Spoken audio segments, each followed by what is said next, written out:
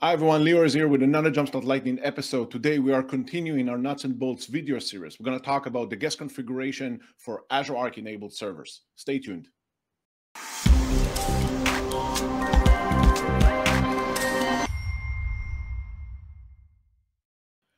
Hi everyone, Lior here with another Jumpstart Lightning episode. Today I have Aurnov with me, continuing the conversation on nuts and bolts uh, for Azure Arc enabled servers. Aurnov, today we're going to talk about the guest configuration for Azure Arc enabled servers. But first of all, for those of you who don't know you, who you are and what is it that you do?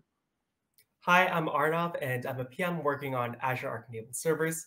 Uh, excited to join today and chat a little bit more about guest configuration capabilities with uh, our service.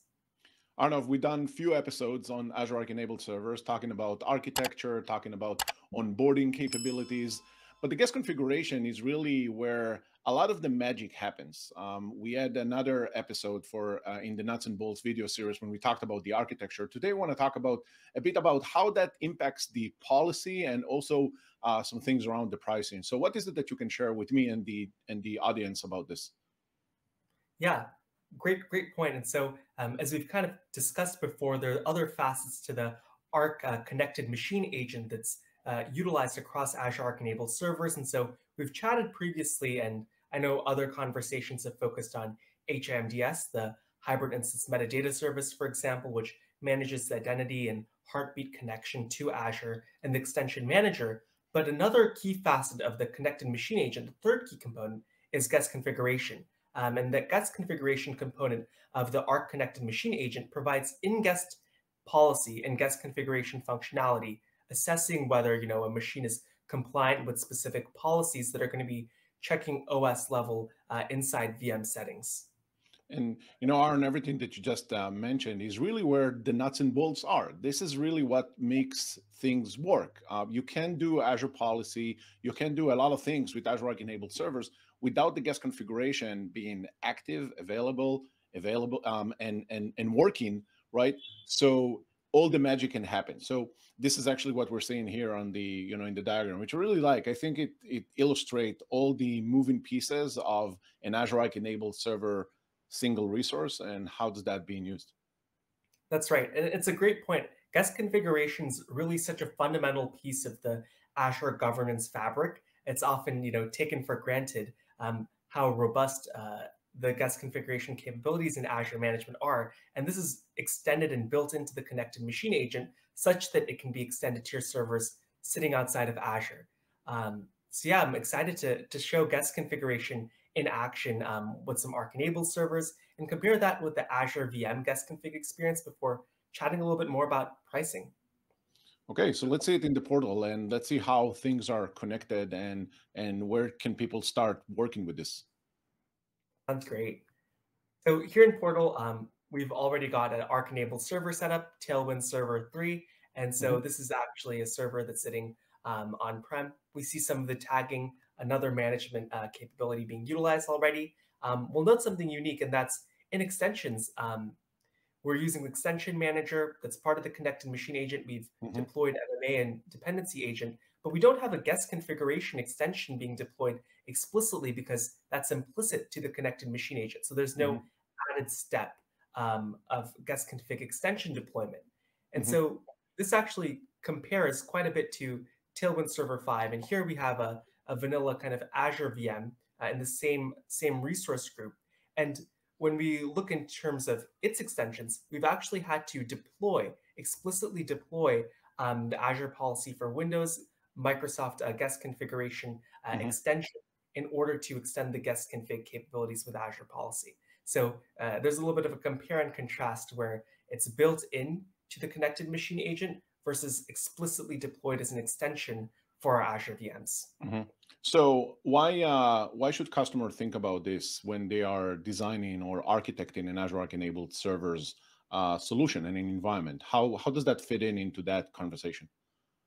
Yeah, that's a great point. And for this, you know, we can really illustrate guest config in action. And so it's almost like an added step to have to do the deployment mm-hmm. for the guest configuration um, extension. And so by removing that added step, uh, we help customers really pre-configure their Azure landing zone. So we mm-hmm. see as a lot of customers uh, group together Azure policies and Azure initiatives um, within their area, their resource group or the subscription, they're planning to land their um, server or Kubernetes projections into. And so mm-hmm. with the guest configuration agent um, already being part of the connected machine agent uh, for their Arc enabled servers, when you have guest config policies being applied to that landing zone, it's automatically going to be extending to those newly provisioned or newly added uh, Arc server resources. And you know, policies is such a fundamental piece to the Azure Arc enabled servers uh, story and Azure Arc in general, because as we were talking about uh, ex extending or stretching a control plane, uh, the control plane that we keep talking about, that's ARM, right? But ARM brings capabilities with with it. It's just it's not just for the sake of extending or saying that we're stretching.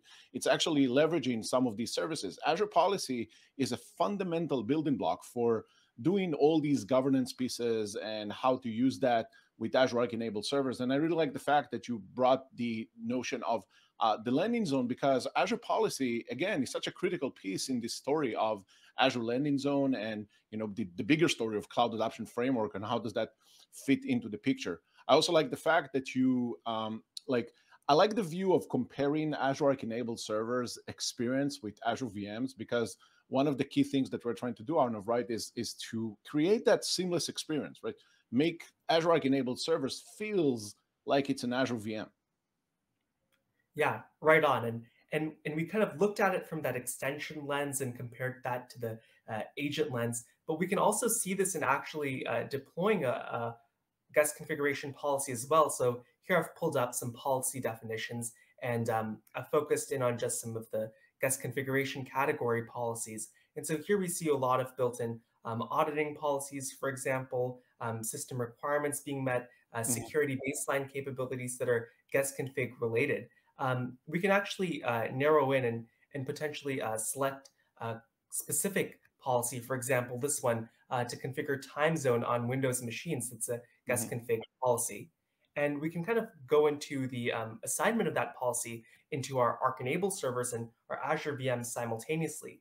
So for example, here we have this configure time zone on Windows machines. Um, we're going to be applying this to Arc enabled infra demo environment uh, that we're working on right now. And then um, in our parameters, um, we're going to be looking to uh, to include, explicitly include our, our connected servers, and we're mm-hmm. going to be selecting our time zone. Um, in this case, uh, let's go ahead and select uh, EST. Oh. Uh, let's go with uh, Pacific Central Time. Sorry. There we go. You can say that we're in Hawaii. That's okay. Yep. No worries. I guess we all want to be in Hawaii for uh, some of us in our mindset. So here we picked uh, Pacific time zone. We've included our Arc connected servers as well. Um, we can also assign to create a remediation task. That's mm-hmm. also available with guest config. So it's not just audit, it's configuration as well. Yep. Great. Next, uh, we can set a non-compliance message and we can go ahead and review and create. And what's really neat is this is going to be applying across our both our Arc enabled servers and our Azure VMs that are in that same environment done kind of seamlessly. Yep. So um, it really kind of typifies how this unified management plane through uh, guest configuration governance is comprehensive. And so and, we can go ahead. And you know, that. Aurnov, just before you are, you know, before you're showing the audience kind of the next steps and how that experience looks like, uh, you know, when I started working with Azure Arc about, I don't know, three and something years ago, someone told me, and as as I was diving deeper into the world of Azure policies, someone told me that Azure policies is like group policy for the cloud. Um, and I really, you know, I never came from a Windows background. I wasn't sure like what what is that all about. But as I was starting to dive deeper into this, I realized that the this notion of creating uh, a single policy platform to rule them all uh, was something that I couldn't comprehend back then. But today, obviously, uh, fast forwarding when I'm looking at Azure policy and specifically with the example that you just show, right? When you, what you said about a Windows server and an Azure Arc enabled server that has Windows installed as the operating system has the same experience uh, when it comes to the policy. That really clicks. Like that's really what makes the difference here. Uh, so I really like that. Yeah, that's an awesome point. I think something we've noticed is um, often, you know, you have like policy silos for a customer, right?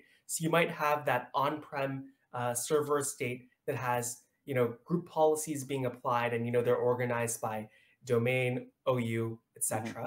And then you have your cloud estate, and there you have Azure policies being applied, and that's being organized, you know, with subscription resource group tracking.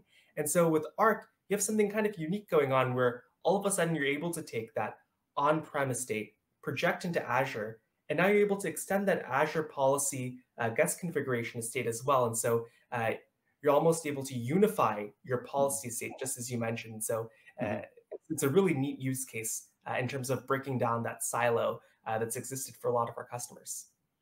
So now that you apply the policy, can you just show me how does that look like um, on the Azure Arc enabled servers, um, so our viewers can know where mm-hmm. to go after they actually apply that policy? Where does that where does that fit into? Right on. And so it might take some time for policy deployment to, to complete, but um, when it is complete, you'll be able to see the deployment in Tailwind Server 3 under um, policies that are being applied to it. Mm-hmm. Um, I think it's going to take some time for it to show up. Uh, we do have a configure time zone one.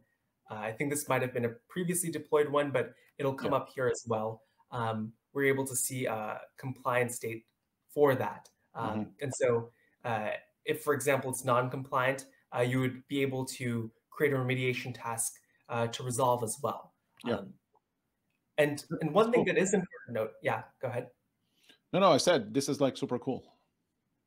Yeah, and I think um, one kind of important thing to note, um, and and we see this kind of come up is is actually like the, the pricing uh, piece of it as well. Mm-hmm. Um, we are in this instance uh, explicitly assigning a guest configuration policy uh, to an Arc enabled server, and so mm-hmm. that's going to trigger that six dollar per server per month uh, price point uh, for guest config policy for Arc enabled servers. but it's typically free to use most Azure policies with Arc enabled servers, and and we just want to add that clarification. Um, or if it's a Defender for Cloud deploying a guest config policy, that's free. If Azure Automation is being used, it's free. Um, if the policy guest config is part of a security benchmark, that's free. Mm-hmm. Um, and, the policy category really has to explicitly be guest config. And on top of that, you know, if it's uh, Azure Stack HCI, um, then it's also going to be free. So mm-hmm. we just want to add a little bit of clarification and nuance because there's actually a lot of exceptions and the plurality of policies are free. It's it's just guest config policies that are explicitly assigned to Arc enabled servers that trigger that price point. Right, right. And I don't like that diagram because it simplifies, it kind of makes you know things a bit clearer because we are getting a lot of questions around this type of stuff, right? With the guest yeah. config, with Azure policy. So I really like the fact that you uh that you brought this one. So Aurnov, I want to say thank you for coming again to uh, the Jumpstart Lightning Show. Talk to me about uh, guest config and Azure policy and the pricing. I think it's a very important topic for all of you that are working with Azure Arc enabled servers um, and starting to think about how does that actually fit into my organization? What is it that I can actually do with that? Azure policy is one of the first things that you're going to look at, uh, right? This is how you do uh, governance, compliance, remediation at scale. So that's what Aurnov uh, just showed you. And obviously, we're we're gonna include all the links to the documentation in the link below. Um, and for those of you who wants to continue seeing all these type of videos that we're doing, please make sure to subscribe the channel as we are moving towards to 1,000 subscribers. Uh, we really appreciate the support. So make sure to like the uh, uh, the video, subscribe to the channel so we can bring more people like Aurnov to the show and have cool conversations around uh, hybrid and Azure Arc and everything that is in between. Aurnov, I want to say thank you for coming again, uh, be a guest on my show, and uh, we're going to see you all next time. Awesome. Thanks. Thanks, everyone.